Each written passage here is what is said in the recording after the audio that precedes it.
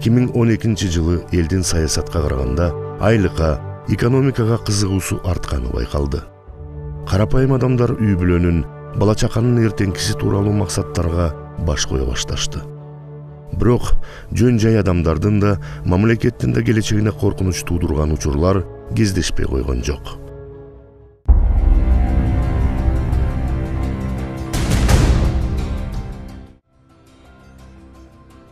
эки миң он экинчи жылы борбордун мурдагы мэри.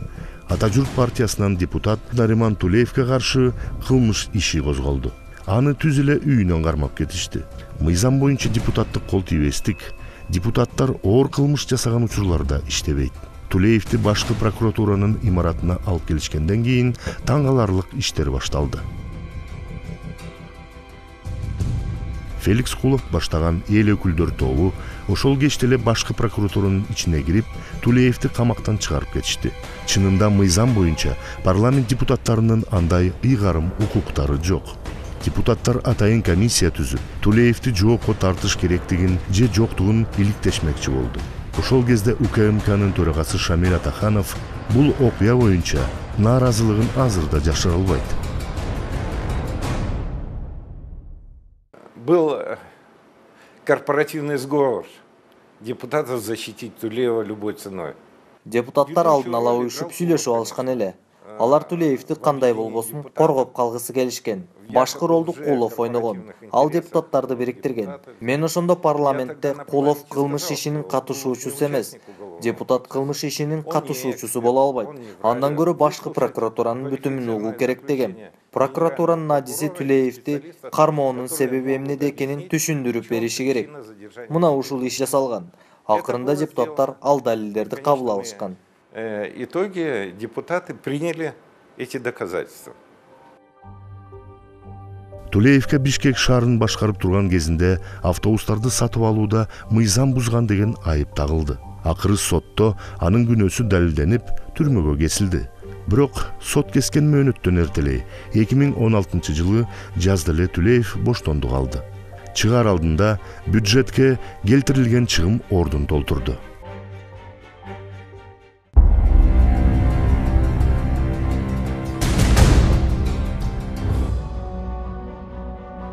Жаңы парламент улуттук кызыкчылыктарга ылайык келтирүү үчүн кум төр келишимин өзгөртүү боюнча талкууга киришти мурда айтылгандай адегенде акаевдин андан кийин бакиевдин тушунда бул келишимге кыргызстанга залакалуу өзгөртүүлөр киргизилген болчу бул жолку келишимдин вариантын президент эле эмес жогорку кеңеш менен конституциялык сот да жактырган эле бирок парламенттеги айрымдар кумтөрдү улутташтыруу керек деп чыгышты айрыкча ата мекен фракциясы көгөрүп туруп алды. Улутташтыруу кыйчалыш абалдан чыгарабы же жаңы баш орун жаратабы. Мурдагы башчылар кол койгон күндө да биздин өлкөбүз эл аралык соттордо жеңе алабы. Ну такой гарантии никто дать не может. Кепилдикти эч ким бере албайт. Ар бир сот анын ичинде мамлекеттин ичиндеги жана эл аралык сот бул ар дайым тобокелдик эки тарапка тең. Сотко кайрылган жана кайрылуучунун себепкери үчүн да тобокелдик бар. Мындай тобокелдик ар дайым болгондуктан иштеп жаткан мыйзамдардын чегинде жана макулдашуулардын алкагында эл аралык сотко жеткирбөөгө аракет көрүш керек. Эл аралык сотко жеңилүү адатта абдан чоң айып пулдарга алып келет. Жеңилген ошол акчаны төлөп бериши керек. Который необходимо будет выплатить проигравшей стороне в пользу выигравшей стороны кумтөрдү улутташтыруу мүмкүнчүлүгүн жокко чыгарган башка да себеп бар эле. Кең жайда мөңгү жыла баштаган. Кеңчилер азыркыга чейин музду күн түнү ташып жатышат.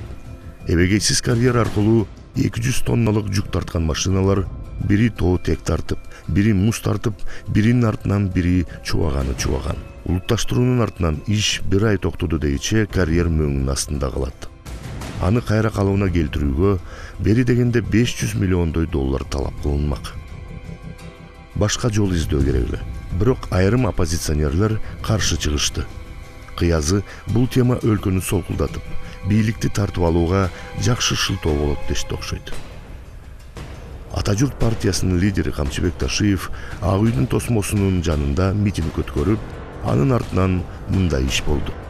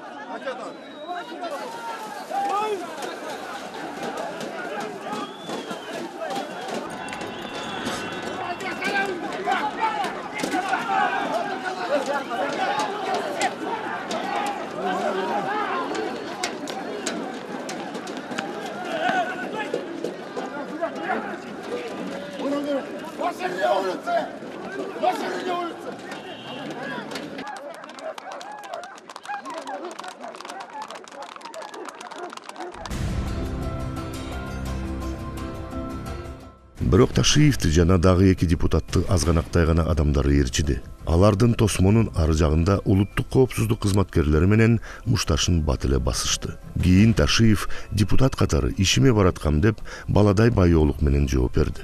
Ошол күнү кечинде ташиев кармалып укмкнын тергөө абагына салынды. Кийин депутат бул кадамы үчүн кыска мөөнөткө соттолду. Анын бул аракетинен эмне себептен майнап чыккан жок анткени эл тополоңдор менен ызы чуулардан чарчап бүткөн мына ушундай чектен чыккан иштерге биринчи болуп бишкектиктер каршы турушту бул тополоңго алып келген кумтөр талашы алигиче ара жолдо турат алдыда андай талаштар дагы уланат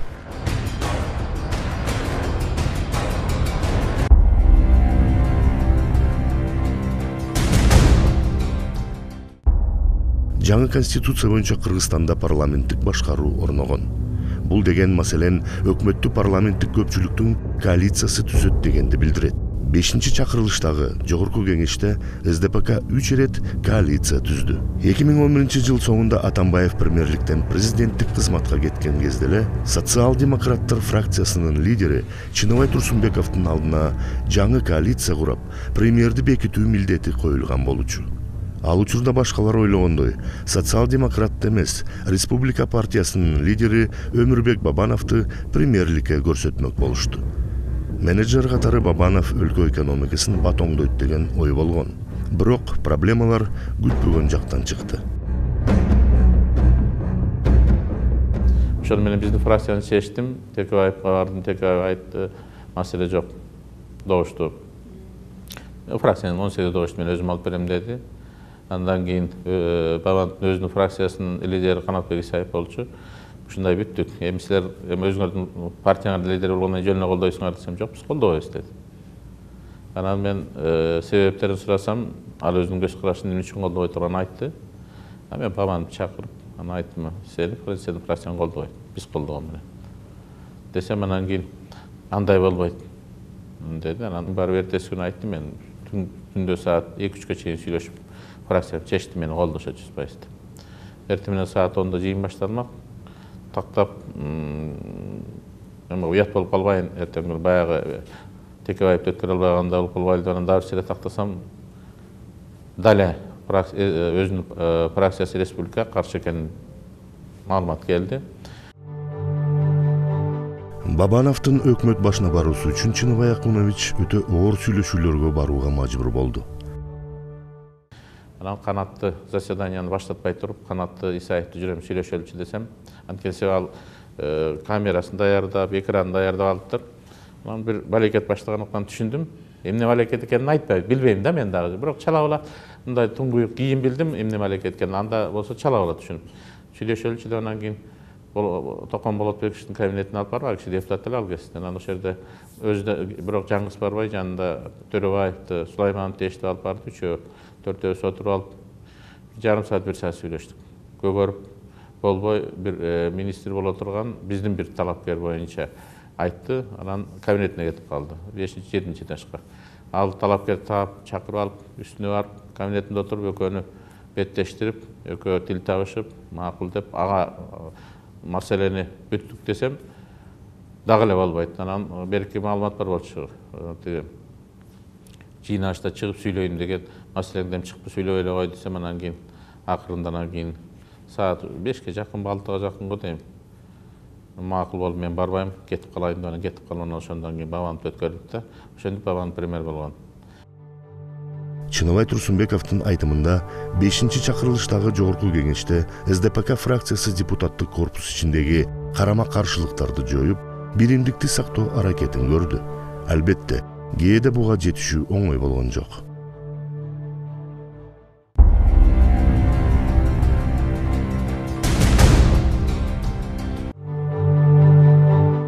Ошентип өмүрбек бабанов эки миң он экинчи жылдын биринчи жарымында премьер министр болуп иштеди ал саясатка март революциясынан кийин мунай зат сатууга байланышкан бизнестен келген бакиевке оппозицияга өтүп парламентке шайланып келип бирок казакстан жараны бар деген кабардан соң мандатын роза отунбаевага өткөрүп берген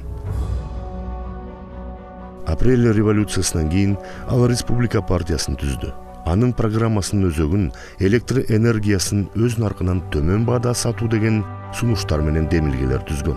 Партия төзмөдөн өтүп парламенттик беш партиянын бири болуп калды. Өмүрбек токтогулович премьер министр болгондон кийин өлкөнү тынбай кыдыра баштады. Кызыгы бабанов кортежин милиция менен коштоодон баш тартам деген убадасына турду. Ошону менен катар бабанов телеэкранга чыгуу жагынан бардык саясатчыларды артка таштады. Эки миң он экинчи жылдын биринчи жарымында экономикалык абал кыйла төмөндөй баштады. Биринчи кезекте күнтөрдө алтын казуу азайгандан улам төмөндөдү. Өмүрбек токтогуз бабанов премьер болгондо мындайча айтканда өкмөткө көп көп жаңылыктарды киргизүүгө аракет кылды. Бирок тилекке каршы ал жазачу иштердин баардыгы ишке ашырылбай калды. Себеби бир жылдан кийин кетүүгө мажбур болду. Мен ойлойт элем мынабу тез тез мынабу өкмөт өкмөт башчылары алмашуу бул чоң зыян алып келди өзүбүздүн экономикабызга алты жылдын ичинде алты премьер министр мындайча айтканда өкмөт иштебей жатты да. Жалаң эле жаңы жетекчи келип жаңыдан өзүнүн жанагы жазачу иштерди ишке ашыра баштаганда ар түрдүү себеп менен жумуштан кете беришти эми бүгүнкү күнү өмүрбек шеркешевич текебаев өзү эле ачык айтты. Мен үч премьер министрди кетирүүгө өзүм мажбур болдум демилгечиси мен болдум деп мен айтайын ошо ата мекен партиянын лидери өмүрбек шеркешевич мындайча айтканда экономикабызга чоң зыян алып келди деп айтсак болот да себеби премьер министр бир жок дегенде үч жыл иштеш керек. Мүмкүнчүлүк болсо ошо депутаттардын мөөнөтү беш жыл иштеш керек. Ошондо экономика бирдеме сирдемеге жетиши мүмкүн мында адамдык мамилелер да роль ойноду бабановду саясий чөйрөдө да бизнесте да жактырбагандар жаман көргөндөр аз эмес эле ата мекен партиясынын лидери өмүрбек текебаев менен жаңжалы анын премьерлик карьерасына эртелей балта чапкандай болду өмүрбек токтогулович жылкы баласын жакшы көрөт анысын эч качан жашырган эмес аңгычакта эле ата мекен фракциясы премьердин атканасында англиялык таза кандуу аргымак бар экенин ачыкка чыгарат аргымакты болсо фирмасы манас аэропортундагы авианавигациялык мунараны жаңылап жаткан түрк бизнесмени кыргызстанга алып келген. Кийин ал аргымак кантип өмүрбек токтогуловичтин колуна тийгени тууралуу эки башка версия айтылды. Бабанов аны сатып алганын айтса ата мекендин депутаттары белекке берилген деп чыгышты политика вместо того, чтобы под кого-то копать, кто что купил, лучше бы предложили бы. Вот это, вот эта часть. Должно, если обвинение есть в сторону аргументов, в сторону правительства, должны быть аргументированные аргументы. А то, что я скакунов покупаю, это не мой первый и последний. Я очень сильно люблю лошадей. бабановдун оппоненттери жылкынын баасы бир же бир жарым миллион доллар турат деп айтышты бабанов болсо аны жыйырма миң долларга сатып алгам дейт ата мекенге кошулган ар намыс фракциясы экономикадагы кризис үчүн премьерди күнөөлөдү акыры ишеним көрсөтпөө маселеси көтөрүлдү. Ошондо бабанов өзү эле кызматтан чегинерин жарыялады. Бирок премьерликтен кеткени менен саясаттан кетпесин билдирди. Анын ордуна ошол кезде президенттин аппарат башчысы болуп турган жантөрө сатыбалдиев келип отурду.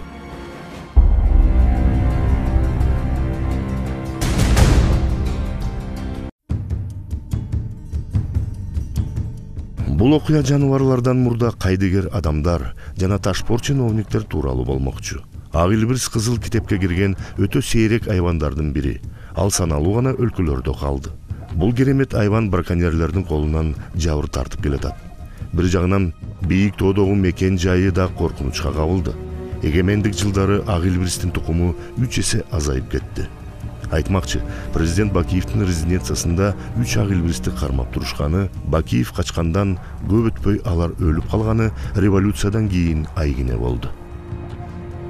Али токсонунчу жылдары эле кыргызстанда чет жердик колдоо менен ак илбирсти сактоо боюнча жапайы жаныбарлар борбору иштеп келген. Борбордо жаратылыш чөйрөсүнө кайтуу мүмкүнчүлүгүнөн ажыраган. Мисалы аягын капканга алдырган илбирстерди кармашчу эки миң тогузунчу жылы ак илбирстин көзү көрбөй калган балдарынын көздөрүнө операция жасоо окуясы болгону бар. Мындай операция өтө кымбат кырк миң евро турат. Анча акча өлкөдө жок эле. Операциянын баасын алматыдагы зоопарк көтөрүү жагын мойнуна алган. Бирок анда айбанаттар ошол жерде калышы керек болгон. Бирок айлана чөйрөнү коргоо боюнча мамлекеттик агенттиктин ошол кездеги директору андай мүмкүнчүлүк жок деп элге жарыялайт. Ошондо коомчулук сөз алды директор э, Госагентства охраны окружающей среды.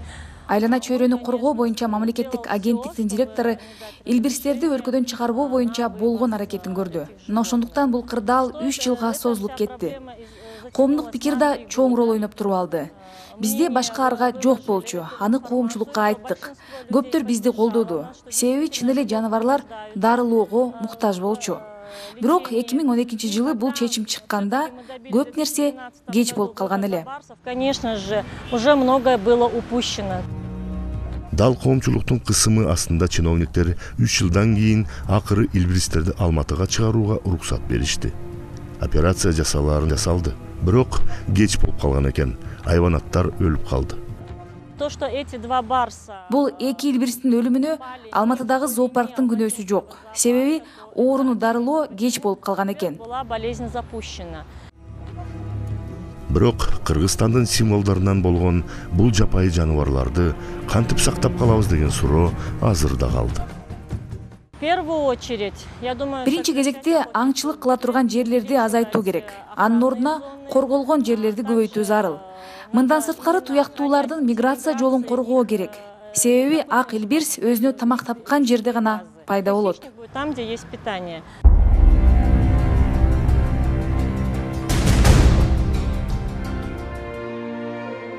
Кыргызстан борборуна россия президенти владимир путин келди даражалуу конок кымбат белегин тартуулады атамбаев менен сүйлөшүүлөрдүн жүрүшүндө москва кыргызстандын беш жүз миллион доллар карызын кетишет деген келишимге кол коюлду ошондо россиялык компаниялар тарабынан камбар ата бирди жана жогорку нарын каскадын куруу боюнча келишимдерге кол коюлду. Бирок бул долбоорлордун тагдыры тайкы болду. Төрт жылдан кийин бул ири иштин аягына чыгуу үчүн россиянын мүмкүнчүлүгү жок деген тыянакка келишти. Ошо үч жыл акча бар кезде биз бир топ бир топ милдеттенмебизди аткара албай жерди бербей мына акыркы жылдары ошо росгидро ар түрдүү себеп менен жанагы кризиске байланыштуу акчалары дагы бир зыян тартышып бул курулуштан баш тартышты. Мен айтат элем бул бизге керектүү. Курулуштар болчу азыр да бүгүнкү күндө керек мен ойлойм буюрса ошо ошо жанагы нарын каскад гэсине дагы бөлөк инвесторлор табылышы мүмкүн но негизи нарын дарыясында дагы бир жыйырма чакты гэс салыныш керек алардын баардыгын биз салдырыш керекпиз себеби келечекте анын баардыгы кыргызстанга керек болот да ошондо манас аба майданын эл аралык логистикалык борборго айлантуу долбооруна россиялык роснефть компаниясын катыштыруу маселеси да талкууланды. Англисчеден которгондо хаб кайсы бир тармактын түйүнү манас аэропортунан америкалык база чыгарылгандан кийин аны эл аралык авиа ташуулар тармагынын маанилүү түйүнү кылмакчы болушкан. Бирок бул долбоор азырынча ишке ашпай турат.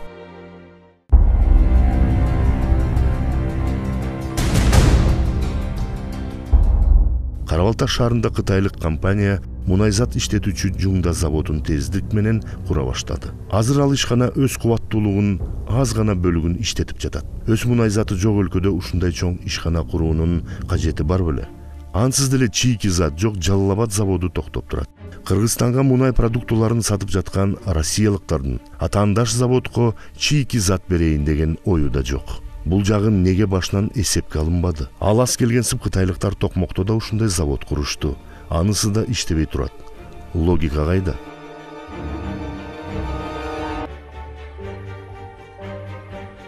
кытайлык компаниянын максаты башкада болушу да мүмкүн кытай эл республикасында өнөр жайын коңшуларга чыгаргандар үчүн олуттуу мамлекеттик колдоолор каралган кыязы андай жардамды алышкан жасадык деп отчет беришкен да калганын эптеп септеп тындырышкан сыяктуу. Ошентип кара балта менен токмоктогу мунайзат иштетүүчү заводдордун келечеги азыр да бүдөмүк.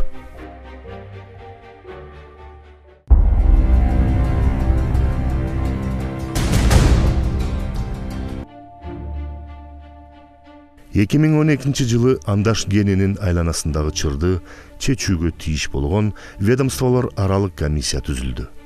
Талас облусу бюджеттен өзү бергенден кыйла көп дотация алат. Бирок облустун кирешелүү болуш үчүн мүмкүнчүлүктөр бар. Таластагы жер казыналарын иштетүү аркылуу регионго да өлкөгө да пайда түшмөк. Бирок иштетүүгө келгенде талаштар чыкты. Бул тоолордо андаш алтын жескени жайгашкан андаш азыр деле ишке кирмек талас облусундагы кенди өндүрүүгө эң даяр жерлердин бири. Бирок жергиликтүү тургундардын каршылыгынан улам жумуш токтоп турат. Инвестор азыр жергиликтүү коомчулук менен көп маселелер боюнча сөз табышканын айтып жатат. Бирок иш ордунан жыла элек. Андан бери төрт жыл өттү жергиликтүү жамааттар менен узак сүйлөшүүлөрдөн кийин көп маселелер боюнча бир пикирге келишти бирок бири бирине ишенбөөчүлүк али да бар бүгүнкү күндө ал жерде иштер тилекке каршы жүргүзүлгөн жок бирок лицензиянын ээси компания жергиликтүү калк менен түшүндүрүү иштерди жүргүзгөнгө аракет кылып жүрөт баягы бир эки проектти дагы ишке ашырып атышат. Ошол жергиликтүү жаш балдарды институтта окутуп башка да проекттерди ишке ашырганга аракет кылып атышат.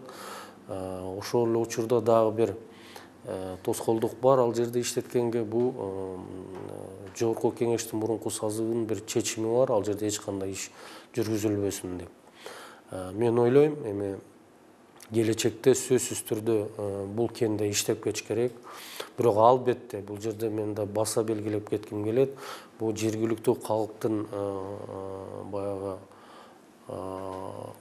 оюн эске алып гана баягы экологияга эч кандай баягы зыян тийгизбестен ушундай бир шарттар түзүлсө эле гана ошол эле учурда иштейт мен ушу ишенет элем жакын арада бир кандайдыр тил табышып жергиликтүү жаамат менен ал жерде иштеткенге аракет кылабыз. Талас облусунун бюджетин толтуруп калктын турмушун оңдоо үчүн мүмкүнчүлүктөр толтура. Эми ал ооматты жергиликтүүлөр колдорунан чыгарып жиберишеби же кармап калышабы жакынкы убакыт көрсөтөт